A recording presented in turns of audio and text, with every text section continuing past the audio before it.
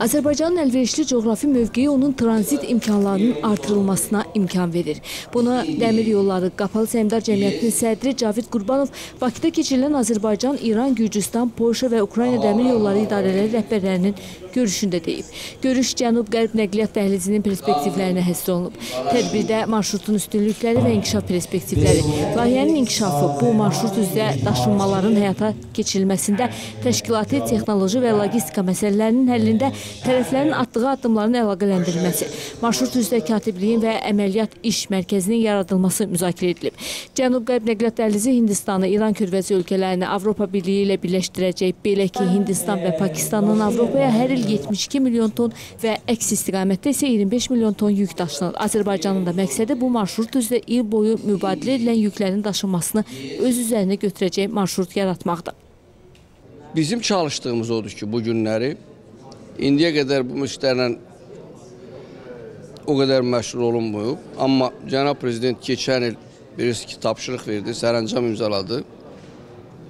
Biz Astara-Astara yolunun 8,5 kilometri o yolu tikdik, körpünü tikdik və əlavə olaraq stansiya yollarımızı tikdik. O üst-üstə 16 kilometrə yaxın yoldur.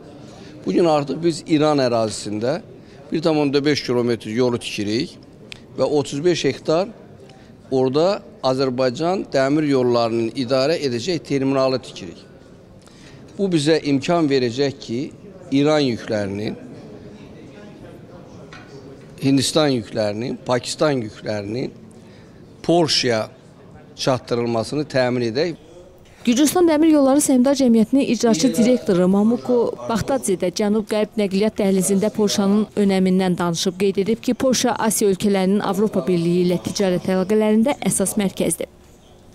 Bugünkü görüşdə biz bu layihəyə Polşanı da qoşma qərarına gəldik. Düşünürəm ki, bu çox vacib addımdır. Bildiyiniz kimi, Polşa Asiya ölkələrinin Avropa Birliyi ilə ticarət məsələsində əsas mərkəzdir. Və əlbəttə ki, biz bu marşrutu istifadə edəcəyik. Ümumilikdə bu marşrutun perspektivlərini yüksək qiymətləndiririk. Hindistan və Avropa Birliyi arasında ticarət yüksək templərlə artır. İran və Avropa Birliyi arasında da ticarət əlaqələri genişlənir. Başqa sözlə biz hesab edirik ki, İran Hindistanın Avropa Birliyi ilə ticarət əlaqələrində bizim dəhliz şah damarı olacaq.